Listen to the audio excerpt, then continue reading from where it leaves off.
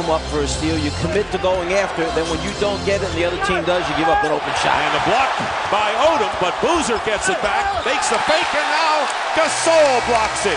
Two blocks on the same offensive sequence for the Utah Jazz, and time called, and the crowd here at Staples Center is loving it.